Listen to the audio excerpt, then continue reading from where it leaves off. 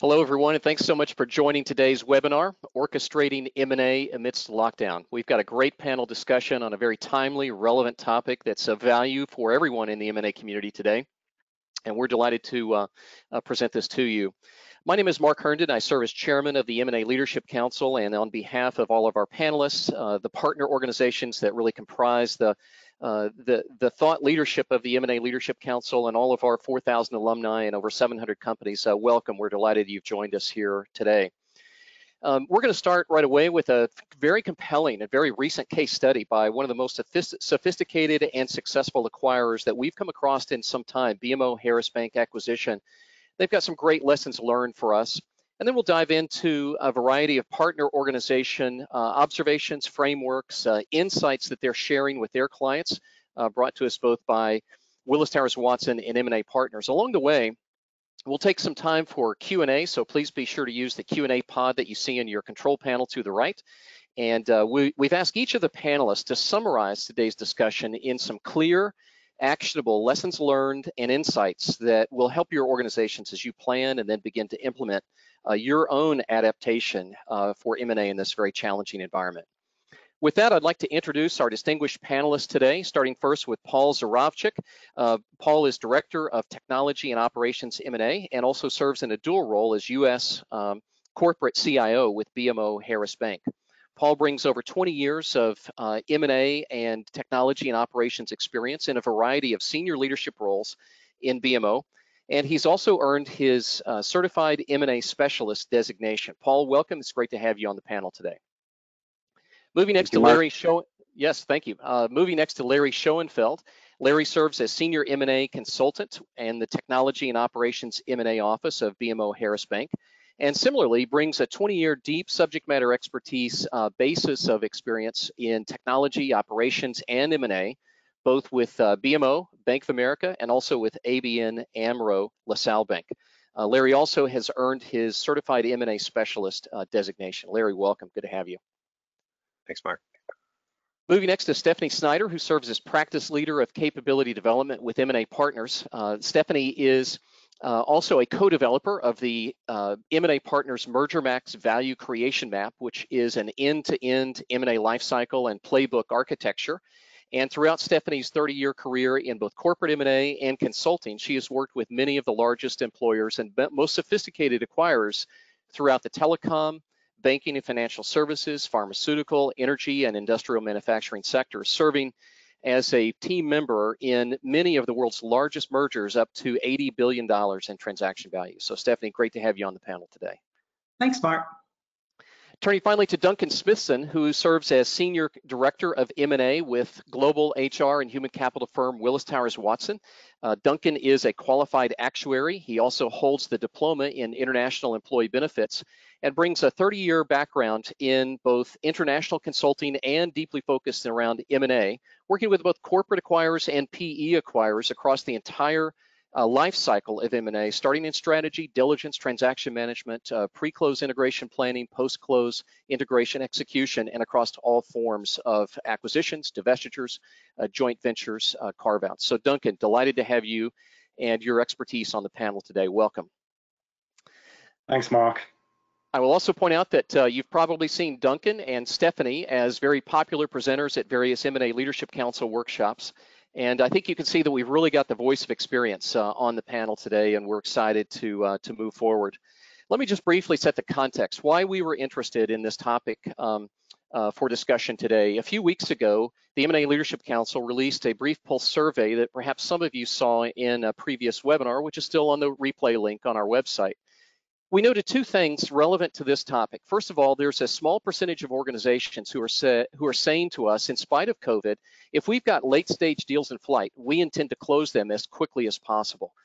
And a further 12% said, we've got deals in flight that we don't know we can get to close, but we'll certainly try to renegotiate terms, conditions, valuation as best as possible and make every effort to close within a reasonable time frame. When we further explored how are you operationally executing M&A, we saw even more organizations say, hey, it's manageable. We can do this. We figured it out. We know how to adapt even in this environment. And furthermore, we saw a few organizations that said to us, it's really not affecting us at all. It's full steam ahead with our normal M&A program. And that prompted a very important follow-up question. What can we learn from those acquirers that have the skill set and the capability to adapt and apply, even in this most challenging circumstance that any of us have ever seen in our careers, to execute M&A well in a post-COVID world? And that brought us to, first of all, BMO Harris Bank. Paul, your organization has a deep skill set in M&A, and if you could just tell us a little bit of background about BMO and your M&A experience to start off the case study. Thank you, Mark, and hello, everyone. Um, BMO Harris Bank, BMO Financial Group, a little bit of overview. Uh, BMO is the largest, uh, is the eighth largest North American bank by assets uh, at right around 880 billion.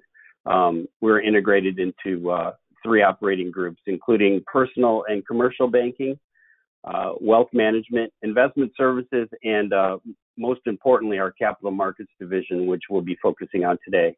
Uh, we have around 1,200, about 12 million customers, just shy of 1,500 branches, and we employ 45,000 employees globally.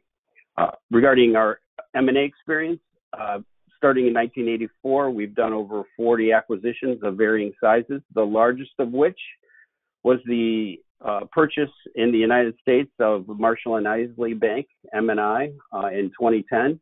Uh, that vaulted BMO Harris Bank, our U.S. division, who uh, Larry and I work for, uh, into the uh, SIFI class, which is the systemically influencing financial institution class, meaning that if something happened to us, we would influence the economy. Uh, following that, we did the G- GE Transportation Finance Division acquisition, which was right around 10 billion, and Larry had a significant role in that, as well as I uh, on the uh, corporate technology side. And we've done numerous smaller and uh, other global acquisitions uh, over the course of um, those 40 that are, are listed. Um, we we have focused our last three years on developing playbooks for each stage of the M&A life cycle, from target identification through optimization everything in between. Um, we, Larry and I, uh, are working on standing up and uh, promoting a center of excellence for M&A globally, uh, enterprise-wide within BMO. Really good context, Paul. And with that, let's dive in. Tell us about Project Clementine. Certainly. So codename Project Clementine, uh, as as everyone in the M&A uh, world knows, we love our code names. Uh, was a strategic fintech acquisition in the capital market space, as I mentioned. Uh, the deal thesis was to leverage uh, the Clementine Corporation's algorithmic management system, or AMS, uh, to provide our BMO institutional clients and broker dealers with optimal market execution. We did not have this capability in house, and and funny enough, we were uh, we were clients of of Clementine since 19, since 2018, and uh, availed ourselves of their services and and um, found it so compelling that we we decided to buy the company. And uh, this vaulted us into the top five capability in terms of large banks in the capital market space to execute on al- algorithmic management. Uh, located in New York, New York, um, 65 FTE, highly technical mathematicians, uh, scientific uh, algorithmic coders. Um, and our due diligence for this deal was completed uh, prior to uh, COVID. Uh, so um, we followed our standard business as usual due diligence processes. So our closing date was April 6th. Uh, and at that point, we were restricted by um, COVID, uh, social distancing, uh, travel bans. we had we had decoupled legal day one and closing day one. Typically, we do uh, a legal day one and closing day, uh, um, legal day one and conversion day one in the same uh, weekend. Uh, we we had a very successful prior capital markets acquisition where we where where we did this and we leveraged uh, many of our our our processes and procedures uh, within Clementine. This one was a little bit uh, interesting because we are contractually obligated to close this deal uh, within three days of uh, our regulatory uh, approval. In this case, it was FINRA. Uh, once again, I mentioned we decoupled legal day one and conversion day one uh, due to the fact that you know we had to we wanted to bring the the company on board into BMO and then really um, integrate them into our ecosystem uh, down the road because of their unique setup with real-time settlement and um, capabilities that weren't present with our current vendors and our current infrastructure. To do this, we had to really accelerate our HR provisioning. We are very closely partnered with our HR team, our HR acquisition and divestiture uh, area in BMO had a much more mature process than we did when we first started out, and we've become very close partners with them. We had to leverage uh, access to procurement systems um, and also, you know, taking daily feeds into our financial systems for the daily P&L, uh, starting on legal day one. Coupled with that, as many of uh, the attendees today know, we were fighting with uh, uh VPN remote access provisioning from with the BAU functions within uh, within our bank to begin with. We needed to provision um, enough uh, VPN uh, ac- uh, VPN uh, access to to those 45,000 internal BMO client internal BMO employees, and we also had to provision VPN access to this new company to preserve the value of of legal day one. So um, without having established processes and procedures, uh, we would not have been able to uh, do this um, in the manner that we did and, and successfully we did in this uh, in this environment. Uh, once again, we had a people focus, um, and we wanted to preserve and really uh, show the new employees from Clementine um, that uh, we really cared about their experience on legal day one. Excellent. It's a good setup. And uh, then the fun begins, right? Uh, tell us a little bit more about how you got through the integration planning and uh, execution in the heat of what was going on in the market uh, at that time with uh, the, the capital markets and trading focus. Sure, Mark, this is Larry. So um, when the purchase agreement and the press release went out on January 22nd, we were confident that the closing could be completed in 11 weeks. Uh, we were on target to have all our dedicated circuits and all the dual laptops available at the sites, having all the access to the corporate systems in place for employee onboarding, all the cross connectivity between the BMO and the Clementine systems in place for all the operational and governance oversight activities that needed to occur on um, the day after closing. Then COVID-19 hit, right? And New York City was hit pretty hard. In early March, all the BMO and Clementine resources started to move off site all the office buildings were being shut down, and effectively all of our planning around the dedicated network connectivity was lost. Um, so we started to pivot to the virtual closing. As uh, Paul had noted, uh, a lot of that was a major shift toward VPN, uh, remote access, uh, utilizing some offline system uh, capabilities, and also additional workarounds uh, to solution everything to meet the closing requirements. One of the critical concerns that we had was the actual execution of the closing event itself. In the past, we had done those using a physical command center structure. And actually, our M&A office had, had built a strong competency of uh, delivering that both during closing and conversion day event. And really, our core principle around that whole management was to have physical command centers. But what we actually experienced was that our all the work that we had put into the phys- physical command center structure actually benefited us. Uh, we had the benefit of a playbook that was designed with minute by minute tasks. It identified all the cross dependencies.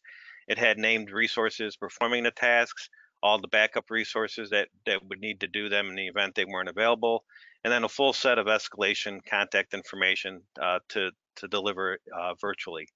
And also with the issue management plans, uh, they were you know, we have clear defined roles, we have clear communication, you know, dial in numbers, preset, triage structure, and that all adapt, adapted very well to the uh, virtual environment. And then finally, uh, the reporting segment of the command center, uh, th- we were able to leverage the tools and the process that we had in place, uh, and it converted well to a virtual, virtual type environment.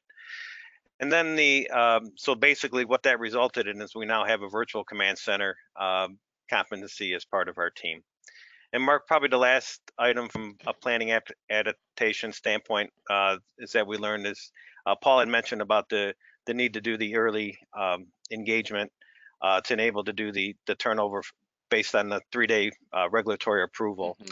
So not having a close date made it difficult for our HR system to onboard resources. So we had a and the HR system is kind of the, the start of the provisioning process for, for a new employee. So we had to rework uh, that process, uh, uh, kind of jury rig the uh, pre-provisioning process and get our, our critical systems provision like Global Relay in advance um, to ensure that we were ready for day one. Excellent insights, uh, Larry. Thank you. And then certainly um, on the other big ad adaptation for the virtual process was on the communication and culture side.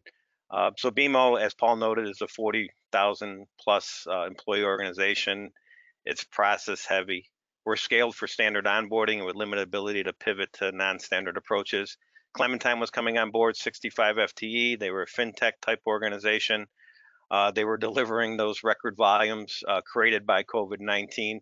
So we needed to adapt and uh, support them uh, to ensure we had a positive employee experience. So we accomplished that first through transparency and transparency and over communication. It started up front with uh, working closely with with some of the key partners on the on the Clementine side. Uh, we had to work through making sure they the BMO organization understood the priority of what we were trying to do. We'll work through all the freezes that were in place, and we also had to customize the, the processes uh, the best we could uh, to meet the needs of the uh, Clementine resources. And that led to a, a white glove approach. So we um, we had a, a, few dedicated resources exclusively to the rollout uh, of, of the uh, resources. Uh, they provided we provided both general office hours and then uh, one-on-one scheduling. And we all work closely with the Clementine team, uh, their support resources to get them ready and also provide the support. And then finally, we did a lot of customization of the uh, welcome guides, remote access guides, the training guides, uh, all with the focus on our, uh, our, our new Clementine resources. They did not have standard BMO laptops. They were working on numerous types of devices running multiple operating systems. So we were used to we're rolling things out on our core. So we did a lot of adjustments to those procedures and it, it, it really paid off in the, in the long run with improving the employee experience. Mm. Larry, it seems like a year ago now, but in early um, April, uh, late March timeframe, the markets were literally going crazy with uh, volume volatility. Paul, you addressed that a minute ago, and you know that whole approach that you took from the planning, uh, the virtual uh, control rooms, and then the um, tremendous communication and change sounds easy, uh, but but it's certainly not, especially when your job number one, rightly so, is preserving and sustaining the ability of the target company to operate and execute in, in the midst of that environment. So it's a really compelling case, guys, and and well done. Uh, Paul, I want to tie back to something that you shared with us in the planning stage of this uh, a few weeks ago. You shared with us a quote that I felt like would really resonate with the M&A leadership uh, community uh, out there and our alumni and, and anybody that's doing M&A. Um, tell us that story. What was the quote? Oh, Mike. Need a mic. Yep. This quote by one of my favorite jazz, one quote by one of my favorite jazz musicians, Charlie Bird Parker. Um, first you learn the instrument, then you learn the music, then you forget about all that stuff and and just play. Um, in in M and A, we have to improvise so many different times. Um, you know the uh, the uh, the song remains the same, but the arrangements are different. Um, we can lump things into general categories, but um, we, we have to have those uh, mastery of your instrument, your your tools, your playbooks, um, and the deal thesis, understanding what you're going for, and then you know when you're when you're faced with something like COVID-19, you just leverage all of that, forget about it, and execute, and just play the music. Yep. And, uh, and that's what we did in this instance. It's it's very memorable, uh, and it's great advice from a lessons learned standpoint and a true voice of experience. So, Paul, that's uh, uh, very much appreciated. Thank you. Um, let me do this. Let me give you guys just a little bit of a break, and I want to bring in um, our two uh, partner organization panelists, Stephanie Snyder with M&A Partners and Duncan Smithson from Willis Towers Watson. And both of your organizations routinely work with uh, very skillful acquirers uh, globally, as well as those just starting out in their M&A journey. And we want to zero in a little bit more on what you're telling these folks. What are you advising them to do? What are you hearing from acquirers um, about their challenges in, in adapting? Uh, Stephanie, first to you, please. Well, thanks, Mark. Uh, the role of my team here at M&A Partners is to help companies develop their M&A capability and readiness.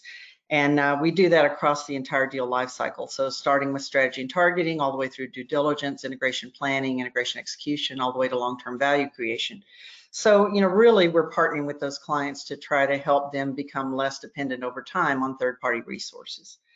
So like BMO, some of our clients are very sophisticated. Uh, some of them have very uh, well-documented M&A processes. They have comprehensive playbooks. They're very experienced team members on their teams, but other clients are just starting out with all of this. They're doing M&A maybe for the first time or they haven't done it in a while. And then in the middle, there are all those clients that are still struggling with the biggest issues, which is things like ineffective governance and uh, unclear roles and responsibilities for their teams or budgeting issues around integration, you know, all those typical things that we hear over and over from people who are developing their M&A capability and readiness. But today in this environment, I mean, the two big questions that seem to be on everybody's mind are what does the future look like for M&A and how soon is that future going to get here? And uh, all that uncertainty and lack of predictability has caused a lot of clients to kind of go on pause. They've they've hit that pause button. They're in a wait and see mode, uh, just like you saw in the the MALC um, survey. Again, others are turning on their fog lights and they're proceeding with caution. They're going very slowly and carefully, but they're making progress. And then, you know, there are those that are just full speed ahead, like you said. They are all out and taking advantage of these opportunities that may not exist uh, once this new normal approaches. So, you know, the key message that I want to deliver today is that each organization should be thinking beyond the simple M&A process and mechanics. Uh, they need to think about that whole strategic context that they're operating in. And just like Larry and Paul said, uh, they're able to make music in this time period because they had those fundamentals in place. Um, if you don't have those fundamentals in place, then your M&A just becomes a bunch of noise and not music. And so we want to be able to get those fundamentals in position so that we can then play off of that and focus on the real value creation that we need to adapt to in this environment.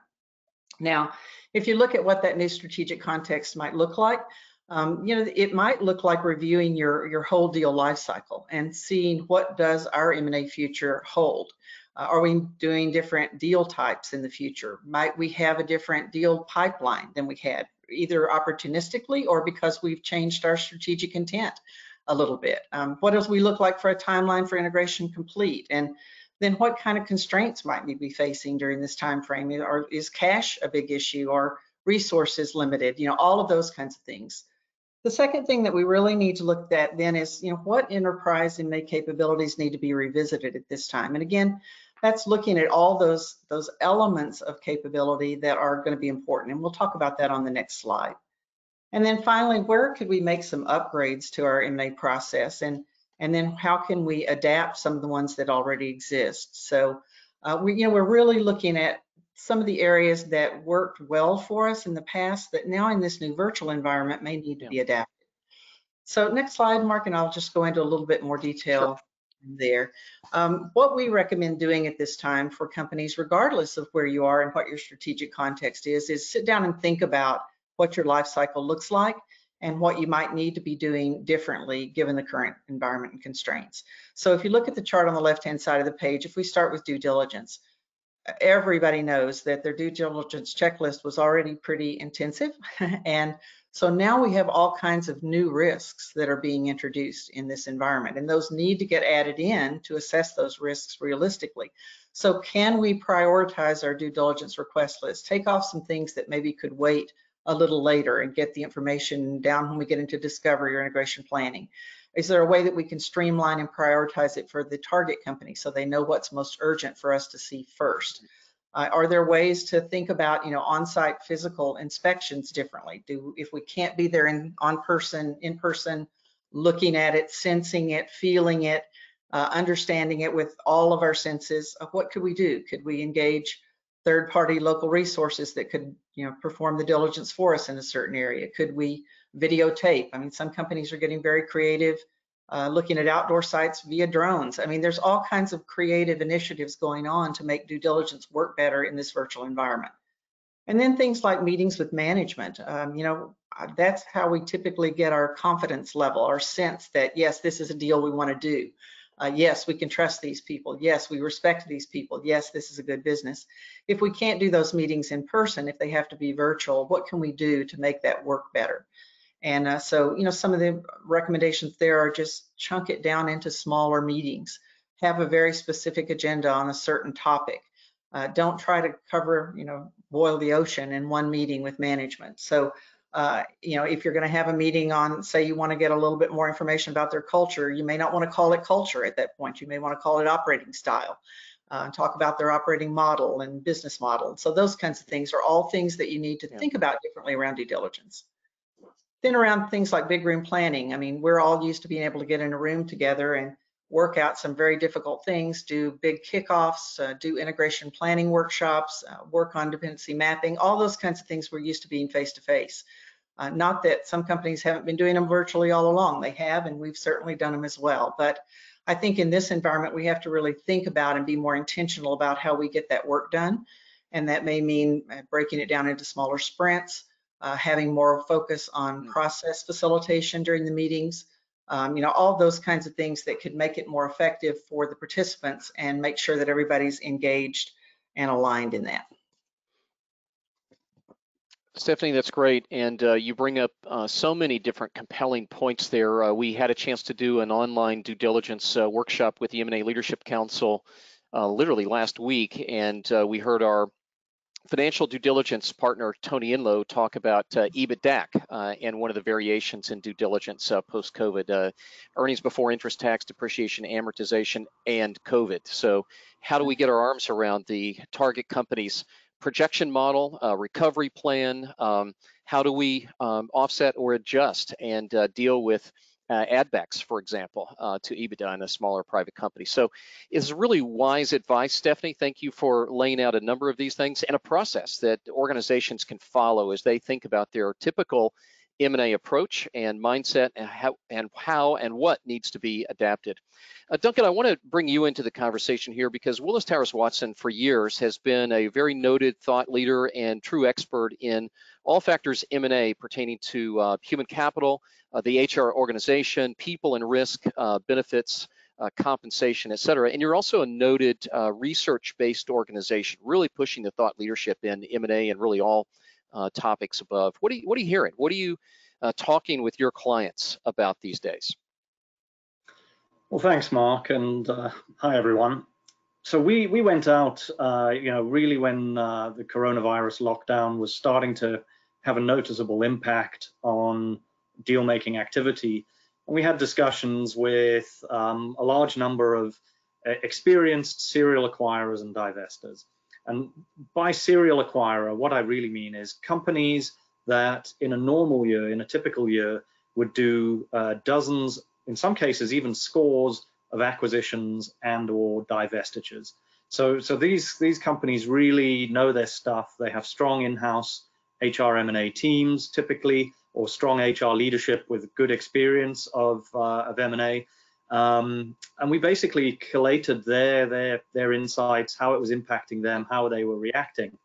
Uh, the first thing to note is it's quite interesting that the the time frame that companies are using to analyze uh, the impact of the virus uh, is evolving, and the priorities of serial acquirers and serial divestors evolves as well, depending on when you're looking. So there was, um, for many companies, an immediate short-term reaction to the shock, both economic and health and social impact of coronavirus.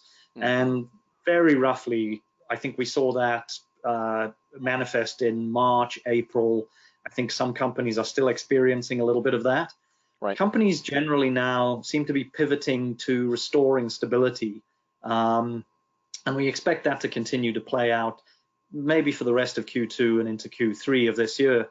And then ultimately, what companies are looking to do is, if, if necessary, modify their approach, modify their process, uh, and just in terms of not just uh, uh, identifying and bringing in transactions, but then executing on those transactions and really learning how to operate and sustain in the quote unquote the new normal. And we, we think that's going to we're going to start seeing that towards the end of this year and, and beyond. Excellent, thank you. So, you know, you know, what exactly are companies telling us? Um, we think it breaks, breaks down into three major themes. Companies are looking at recent and current deals, they're looking at their portfolio and future deal flow, and to be honest, they're looking at the HR M&A team itself and how it works, how knowledge is, is shared and accumulated, um, and how the team is deployed. When it comes to recent and current deals, um, nearly all companies temporarily paused new deal activity to review their current and recent deals, and that the focus was very much on revalidating the strategic rationale for a transaction, uh, looking at potential adjustments to the scope of a deal or the structure of a deal, looking at potential changes that might be needed to the, the pricing model, you know, to the, the valuation. Are those earnings projections still relevant in, uh, in the new era of COVID-19? Um, companies were revisiting their funding mechanisms. So for example, one client told us they would typically uh, make an acquisition by means of an upfront purchase price. They are much more uh, focused now on uh, using earnouts um, and putting in place some metrics that look at in more detail than they had previously on business viability, on revenue growth, and so on. Um, companies are reassessing their go no-go criteria. You know what what makes for a, um, an, a leading indicator of a, the success of a deal. Um, and then there are some practical implications. We're seeing, and our clients are seeing, times to closing deals that have been signed, the time to closing is being pushed back further and further. Mm-hmm. And there are also some practical considerations, uh, things like mandatory employee consultations, regulatory approvals. These things, there are workarounds to not being able to do these things in person, uh, but the general consensus is that it's taking much much longer than previously to get through these these things and in yes. some cases when they when companies reassess all of that the decision is maybe we shouldn't proceed with the deal and that, that obviously brings its own challenges. You know, if you um, you know, if you're re reviewing a deal construct and you're thinking maybe this deal no longer makes sense, but you want to retain the ability to go back to the seller at a future point if it makes sense, it's quite a delicate negotiation to disengage from a deal that's already in flight. Right. Excellent. I can talk about other things that companies are telling us. Um, you know, companies are definitely uh, looking at the impact of market movements on earnouts, retention programs, uh, those remain important. Um, uh, companies are looking at additional HR metrics that, that they can tie into uh, the, the, payout from earnouts and retention programs. Um, for recently closed deals, companies are also reviewing their 100-day plans. Um, I have a client who's engaged in a fairly, fairly substantial, fairly transformational deal currently. They're in the pharmaceutical industry, so you know right, you know, fortunately for them, they are not as negatively impacted financially as That's companies right. in some other industries. Absolutely. There will be but some they, real bright spots out there. It's a great point, Duncan. There will be, and we can, we can talk about that um, in a bit. But you know, they they told me that they were planning to integrate the acquired employees from their recent acquisition onto their HR systems, plans, and programs as soon as possible. That was their original intention. Um, but they've now decided to delay that for a year and you know, fortunately for them, they they acquired. Uh, it was a stock deal, so they acquired the the target company lock, stock, and mm-hmm. barrel, including uh, existing payroll and HR systems and so on.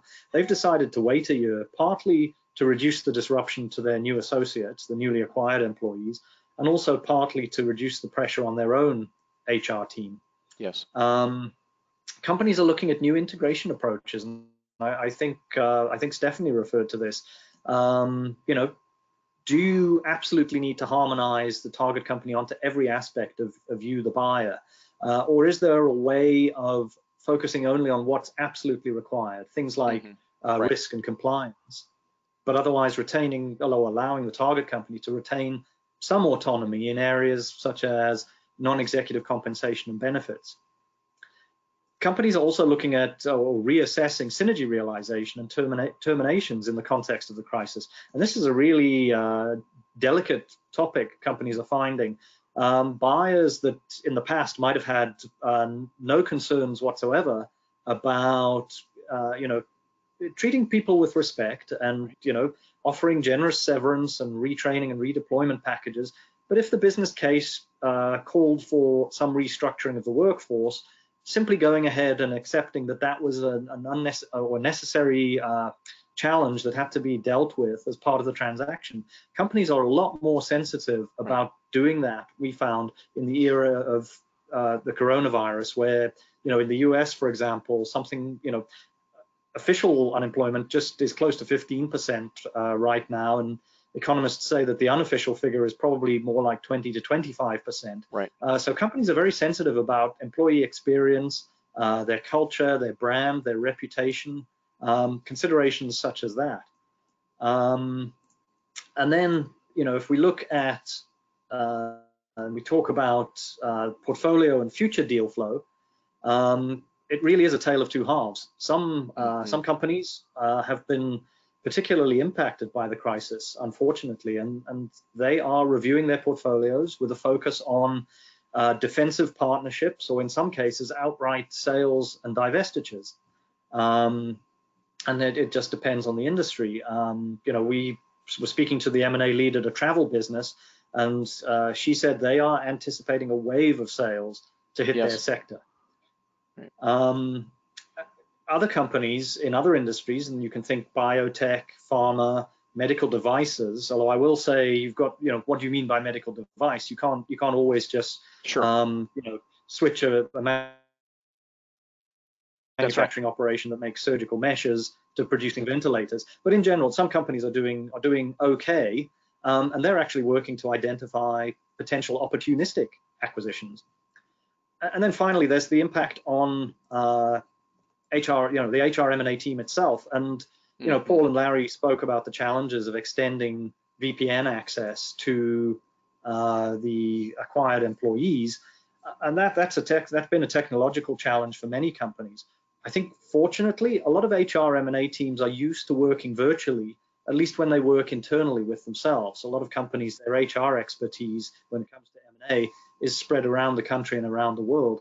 So it That's hasn't right. been such a hardship, but there's more to it than uh, than uh, VPN and technology. And some companies have been struggling to or, or having to find workarounds to uh, run uh, virtual due diligence you know, how, how, do you do, and I think Stephanie referred to this, mm-hmm. how do you That's do an effective um, uh, management presentation when you're really, you know, yes, you're there for the content, but you're also trying to look uh, in the whites of your, the, the, whites of the eyes of the people across the table and get their measure and get form a judgment on the talent and the leadership Excellent. in front of you. Yeah. Uh, how do you do that virtually? So companies have been struggling, and they've also had to, in some cases, redeploy their HR M&A expertise. Companies that aren't busy right. have found that they can take some of their M&A people and have them backfill support for the, for example, the benefits team, where people are rushed off their feet trying to cope with the, the response to coronavirus. Alternatively, if um, early stages of a deal were, were run very centrally by the, H, the corporate HR team, maybe now what you have to do is leverage your local HR teams more and earlier than you would have otherwise to bring them into uh, under the tent as it were on deals in play so that you yeah. can you can play off the fact that maybe they aren't under the same lockdown conditions as the corporate team Excellent. Duncan, uh, tremendous insights. I want to leverage off of that and bring Paul and Larry back into the conversation if we can. Um, watching the questions box, we've gotten a number of really outstanding questions. We want to try to get to as many of these as possible. If you haven't had a chance to ask a question, uh, please use your Q&A pod in the control panel uh, at the right-hand side of your screen. And um, here's here's an interesting one, uh, Paul and Larry, uh, coming right to you um, from the outset. Liam has asked, uh, BMO has a very mature M&A process and skill set. Uh, what's your advice for a less experienced acquirer? Well, uh, you know, we were in this position, you know, a couple of years ago, and and the bottom line is that you have you have to call in the cavalry. Sometimes you have to reach out for help. Um, there are various uh, third-party firms out there that you can reach out to. Um, various industry organizations. We've done we we do a lot of research, and we um, we quickly integrate things we cull from the internet, from conversations with folks like you all. Um, you know, develop. Uh, you know, one one of the things that uh, highly value added um, aspects of being in this work is that there's a really robust uh, behind the scenes mm-hmm. uh, fraternity of folks that um, get together and share ideas.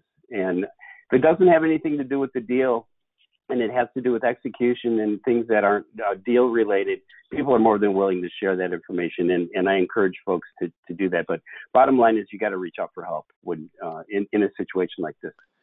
Thank you. I'm going to go next to a question that's just come in from uh, Emma, and uh, looks like this is targeted to to Duncan. Um, Uh, each organization has spoken to some of the challenges when it comes to employee communication and building trust without the in-person contact and in-person meetings. What are some additional examples of things we can do to drive more effective comms, change, and build trust? So Duncan, start out with you, Mm. and I suspect you know we want to all get involved in that conversation a little bit. Absolutely, you know, it's a, it's a good question. Um, co- companies are telling us that engaging people remains difficult, um, and teleconferencing, for all its advantages, uh, it, it's not the same as being there in person. You know, we we had a client where for them uh, the day one onboarding of newly acquired employees was a was a big deal, and now of course they uh, they have travel restrictions, they have uh, they can't hold face-to-face meetings. So basically, there is there is no welcome for those employees, and even behind the scenes, they can't send people from the IT or finance functions to help integrate the acquisition. Um, so employees are really feeling that. So I, th I, think you know the example that Paul and Larry shared of BMO's approach in Project Clementine, the white glove approach, Mhm. is is uh, for all it's virtual, it's it's going above and beyond what you would normally do, even if that was already uh, leaning towards over communication. Uh, you know, companies, and this this affects uh, existing employees. It's not just acquired employees. Companies are doing Right. their best to stand behind and support their people. Um, I, I'll let others speak, but there's an added there's an added complication when you're talking about associates in manufacturing plants where they don't really have the option of working from home. Um, and companies are looking to do things like you know extend the availability of personal protection equipment like hand sanitizers, um, things like that, but also looking at emotional well-being and mental aspects. You know, extending paid sick leave. We had one client who was looking to accelerate in negotiation with their EAP vendor, their employee assistance program, access to their the buyer's EAP program for the acquired target company employees before the Right. deal actually closed. Really good, crisp examples. Thank you for those, Duncan. Um, Stephanie, any thoughts or comments on that? Yeah, just, I mean, it's, M&A always creates uncertainty. Now it's on steroids. So how do we deal with that? Um, you know, I think there's uh, some psychological principles that you can apply. There's something called mere exposure, and that simply means that the more you expose people to something, the more they trust and like it. So that goes to the frequency of communication that you're doing. Now, the flip side of that is if you make a bad first impression, then they hate you more each time. So first impressions really matter here and how you set that up. Uh, but there's some just good principles for making time to do some of the trust building, some of the get to know me. Um, we've had teams that have shared pictures of their pets online, just a way to humanize it, make that connection, start to build that trust, develop that credibility, uh, and you know establish those relationships that are so hard to do in a virtual environment. Yeah, that's great. I want to stay with you, Stephanie. You've uh, touched a real nerve here in the Q&A pod. There's a ton of questions around how do you do what Larry and Paul did, you know, going from a physical control center, but applied to what you mentioned, Stephanie, about integration planning and particularly those cross-functional dependencies. Um, here's here's a question, for example, that uh, Lucas has asked. Um, we've got a well-developed baseline integration plan very experienced function workstream leads, but we've always done that proverbial physical walk the walls session to identify and map dependencies between function teams. How in the world do you do that without the wall walk session, Stephanie? Uh, the short answer is very carefully. Um, it- it's really tough, and we would certainly prefer to do that face to face. It's a very complicated exercise. It requires a lot of collaboration. You're going to get more creativity in the room. People are going to establish those relationships of trust. There's no substitute for being face to face in some of those more difficult big plan, big room planning sessions. But the truth of the matter is there have been circumstances in the past where we haven't been able to do that on site, face to face, and we've done it virtually. And so what did that require? Well, it typically required a ton more design into the meeting up front. Designing that meeting to get the outcomes that you need, designing it with the participants in mind. Um, we might spend, you know, 30 hours developing one hour of meeting content for a meeting like that. And so it's just putting the design time in front. It's really thinking through from a participant's perspective how to make that work. And then absolutely holding people accountable between that. If you're running sprints, then what do they need to be doing in terms of work between each sprint to get the work done? So That's great. accountability there, just responsibility, all that, all that good meeting principles. Yeah, you can't just expect to uh, put your note cards on the wall and uh, by time phrase uh, frame uh, day one, 30, 60, 90 and expect people to do it. It all has to take place ahead of time. And you've Yeah. got to work that and then really have the detailed conversations uh, remotely. So great insights and coaching, Stephanie. Thank you. We've got a bunch of questions here for Paul and Larry. A lot of interest in the BMO uh, example. And um, let me ask kind of a two-part question. I'll, I'll actually combine questions here.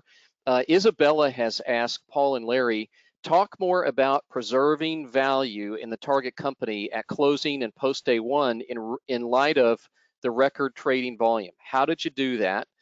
And then I'm going to tag on to that if I can pick up a question um, that, um, uh, let's see, uh, Adam has asked, uh, what worked and didn't work as you adapted from your core process to this environment? Help us out with I that, mean- Paul and Larry. Sure. I mean, uh, on the first question, certainly we tried to keep the closing simple, right? So we didn't make any major changes in, in, you know, the way we cleared transactions. We kept the core systems in place, you know, at, at Clementine. What we focused on was the corporate systems and making sure that they were all, you know, appropriately integrated and we had the right level of oversight and governance. So we didn't, we didn't touch the core. Uh, regarding the second item, I mean, certainly we had some good experience around just, I would say, even an email process, right? So until everybody is fully onboarded and able to access all your intranet sites and, and, and all the systems they, they're required to access, don't start, you know, sending them and forwarding them your blanket, your your avalanche of, of corporate emails. Uh, so try to try to kind of ease them into the uh, the, the process of, of onboarding during those first couple of weeks uh, because it's, Sounds like the it's voice of experience there, Larry. It's uh, sage advice, and we've all been there, done that. If they don't need it from Yeah, work, and ju- give it away. Yeah, it- just to just to add on to that, um, we preserve value by letting the acquired business focus on what value they are providing. And you know, we talked about white glove. We led and handholded people through things so that they could focus on their managing that volatility and trading volume. And we kind of did not do that process before, as Larry mentioned. You know, you'd get a checklist provided via email to a new employee. They'd have to walk through it themselves. We have to take a more measured uh, and hand-holding approach, and it just shows that we value the the new employee, and and that goes a long way in really starting the relationship off. And it really goes back to due diligence when we have our face-to-face meetings or our calls with management. You know, when we can't find answers in the virtual data room, you know, we start to develop that collegial relationship from day one. And um, you know, some some folks aren't willing to play that, but we've been very fortunate to have willing partners uh, in our recent transactions, and, and it's made it much easier to do that. Let me just ask a follow-on question to, to that, and, and I'll start with Paul and Larry and ask uh, Duncan and, and Stephanie to get to this as well. But uh, you've referred to the white glove approach a couple of times, which means a step up level of service, responsiveness, support, as you've described. Um, what, what else does that look like? You know, physically from a structure, systems, process, staffing, what are just two or three other examples of what you did to step up that level of service to white glove level?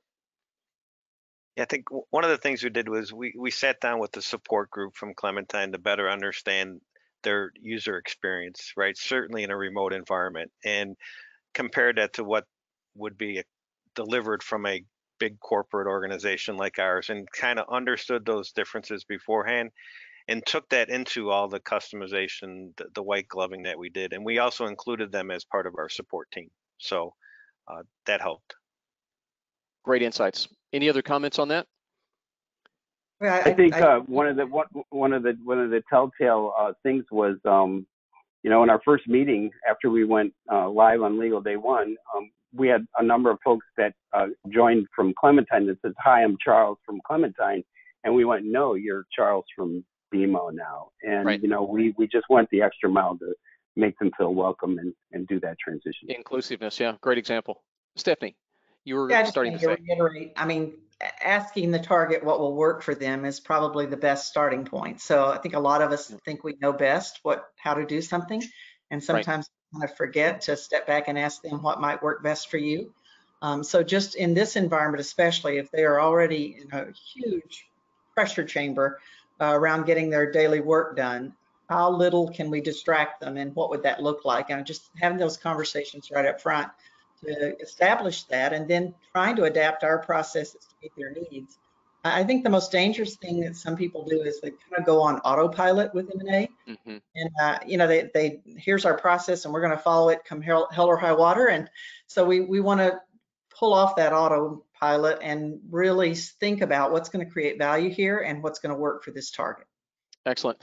Hey, Duncan, uh, you also uh, kind of touched off a, a, nerve here in the comments about um, uh, restructuring and the brand customer experience, the employee experience aspect of uh, anticipated restructurings in this deal environment and um, layoffs uh, post-close. Uh, this question has come in from, from Mason, and it really speaks to retention. Um, he's saying, how important is retention in today's environment? And if so, what changes in approach might be needed? Uh, that's another good question. Thank you. Um, retention is still as necessary as it ever was. And I think what's changed is in a world where the infrastructure or support for M&A, even in situations where companies are trying to accelerate deals that are in flight and bring them to, to close, um, I think the support infrastructure is moving more slowly. Things like, you know, as I said, regulatory approval, for example, or background checks. You know, whereas before, if it took five to 10 days to conduct a background check, that's now, you know, vendors are telling companies that's going to take 20 to 30 days or whatever it is.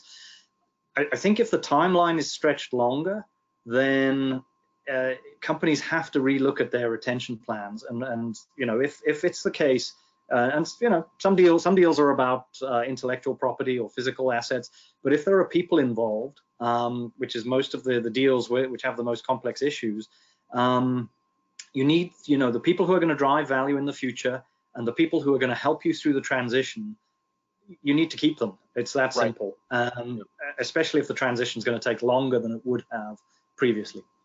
Very, very good insight. Uh, uh, we're close to time, and I want to commit that we will get to our summary insights. As I mentioned, I've asked each of the panelists to characterize the entire discussion here into some clear, actionable lessons learned and takeaway insights that each of your respective organizations can use in your planning and, and pivoting to this new environment. So we'll do that next, but I have to get to this one last question that's come in for BMO. And uh, this is from Paul, who says, uh, clarify a little bit the corporate organization and scope. Within BMO, is most of M&A integration led from a dedicated M&A organization, or is there uh, much from the BMO, BMO business and who owns the resulting integrated business? Just a little bit of context on your scope and, and role there, Paul and Larry. You want me to take that, Larry? Sure, Paul. Yeah, so we have a dedicated M&A function internally at BMO, and we, we're our area is actually um, Larry and my area is actually uh, accountable for the end-to-end delivery of, of all M&A, and we do that across um, across uh, the entire organization. Uh, that wasn't the case in the past. There were pockets where business led um, things uh, deals in the past. We work very closely with our business partners in corporate development to uh, facilitate um, and, and the efficiency and effectiveness gains from this model have been immense. Um, and I, it, it, as a matter of fact, I don't think there's any other way that you, you can do it. You have to have a dedicated team if you want to do it and do it well in a repeatable fashion. I'm really glad that question came up, and thank you for, for taking that. Your scope and role is definitely more of an enterprise operations focus uh, than a typical IT scope uh, kind of function work stream. It's really uh, performing a lot of roles of enterprise DMO and IMO um, for the operations. Yeah, excellent. With that, guys, I want to transition now to our closing comments. And uh, again, turning to our distinguished guests, Paul and Larry from BMO. Uh, first of all, my congratulations. Uh, you guys have done an outstanding job in a very difficult circumstance and a highly strategic acquisition that it may be small, but it is not easy in that environment and with the overall value proposition that you're expecting for them and the operations focus that they had to maintain. So well done. And uh, thank you for sharing your insights. Uh, sum up for you for us, if you will, please, Paul and Larry, some of the key takeaways. Well, well, thank you, Mark. Well, as I've, I think I, the theme that has bubbled up over this uh, past hour has been you have to have a solid M&A process and playbooks in advance. And if you don't have that as the questioner asked, you have to reach out for help. And then um, I would add on to that, once you have those that baseline playbook and, and processes in place, you have to keep your what I call the M&A engine at idle in between deals. If you're not a serial acquirer and not busy all the time, you tend to lose that value. Um, so keep the engine running by um, one way you do that is you, you embed your best practices and lessons learned into your M&A teams. And we have dedicated M&A teams. We have dedicated partners throughout every aspect of what we call corporate support areas. And we perform lessons learned after every deal. And we are religious about um, plowing those back into our, our, our program. Uh, and finally, um, you need to elevate and adapt your frameworks and guiding principles. You can't just virtualize them in, in something like this. Some things just don't lend themselves to the virtual environment. And as Stephanie and Duncan both mentioned, you really have to pick and choose um, what makes sense, the low-hanging fruit, so to speak, um, what makes sense to virtualize. Um, but pick the ones that are going to give you the most uh, bang for your buck, so to speak, in terms of um, virtualizing in, in, in, an environment such as COVID-19. Excellent. And my three uh, key takeaways are cer certainly the virtual versus the physical presence mandates uh, an elevated white glove process. And like we said, listen to the support groups uh, from the acquired. Uh, they'll provide you the best insight and where you need to apply that. Uh, it helps to have a motivated, engaged target company counterpart.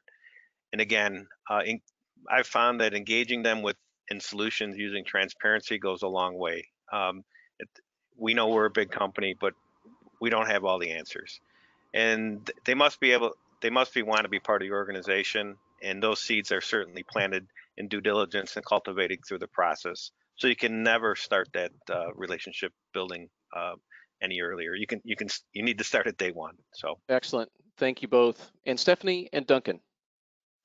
Well, really quickly, uh, you know, basically virtual M&A is simply good M&A performed virtually. So again, just like Paul and Larry have said, have those foundations in place so that you can call audibles on the field. Um, you know, it, it make implicit um, explicit. So don't leave people wondering what you mean by something. Um, you know, don't make assumption. Uh, and then, you know, basically M&A will be back. We are hearing from all the experts that there will be an uptick stabilize and the new normal presents itself. So if you have some time now, uh, if you're experienced, then look at uh, new inventures that you might have. Look at divestitures, look at carve outs, uh, you know, all the kinds of things that you might not be as expert at as you are at M&A because those are likely to appear as well. And if you're just starting, then just like Larry and Paul said, you know, get an expert on your team so that you can avoid those landmines. Excellent. Duncan. Thanks, Mark. Uh, think creatively, think the unthinkable. Get creative about deal structure. Ask yourself, are those non-negotiables really non-negotiable? Uh, challenge yourselves. Uh, deals may have paused or slowed down temporarily, but companies with cash reserves are still going to do deals. So deals are still happening and be open to those opportunities. And companies are using uh, this crisis, uh, they're finding it, some silver lining, which is, you know, it's a chance to uh, pressure test their playbooks, their way, their approach. Uh, companies are finding new ways to deploy their teams that are effective and efficient. Wonderful, and that's a great uh, capstone uh, opportunity for all of us to say thank you for joining us at this webinar today. Again, congratulations, uh, Paul and Larry, for an outstanding case example of uh, executing very well and very strategically in a tough, tough circumstance.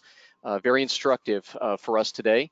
And Stephanie and Duncan, to you and your organizations uh, for your insights, uh, uh, practical on the field right now today. So on behalf of all of us at the M&A Leadership Council, our outstanding partner organizations, our over 4,000 trainees and alumni organizations, um, thank you uh, for your time. We look forward to talking with you again soon on future M&A Leadership Council webinars and online seminars. So in the meantime, stay safe, uh, stay well, and uh, take care, everybody. Have a great day. Thanks. Thank you. Thank you. Bye now.